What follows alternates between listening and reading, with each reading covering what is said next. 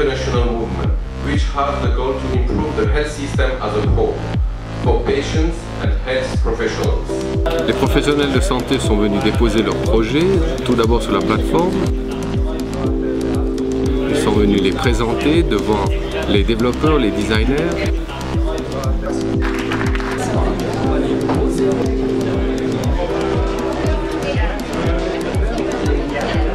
Final, c'est huit projets qui ont été choisis par les développeurs pour former des équipes pour travailler durant ces 40 heures de week-end.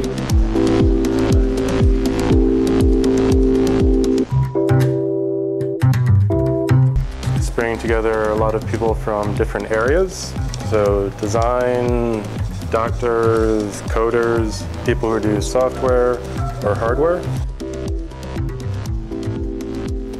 It's really nice to see so many people involved and passionate to, to bring some value to uh, the digital healthcare sector and to improve the value for the patient and on the other hand for the healthcare professional. I like the atmosphere of people being engaged for a short period of time.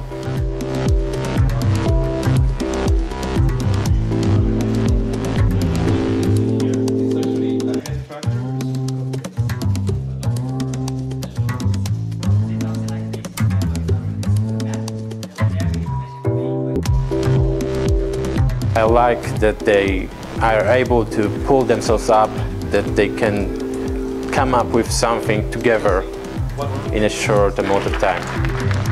L'Arcaton en chiffres, c'est 50 participants, c'est 30 développeurs, c'est une dizaine de professionnels de santé, c'est des litres et des litres de café, de Red Bull, c'est 13 projets qui ont été présentés et c'est un gagnant, la souris virtuelle.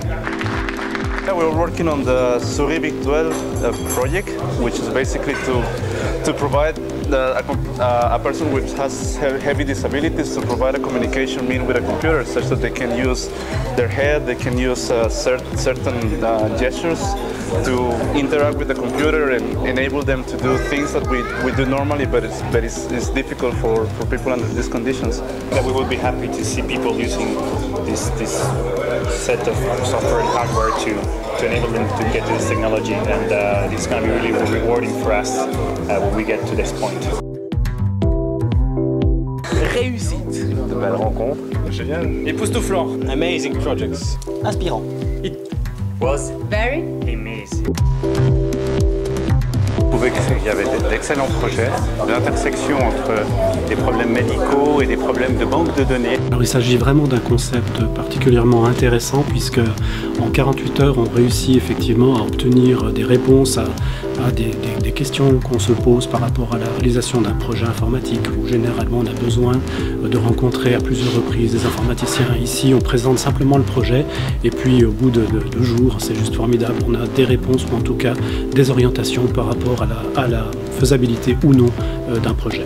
Le format choisi par The Arc pour ce premier hackathon a démontré qu'il était très intéressant pour les professionnels de la santé de participer à un tel événement. En trois jours, un résultat concluant peut être démontré tant pour les professionnels de la santé que pour les développeurs qui ont travaillé sur un tel projet. Expérience sans aucun doute à renouveler.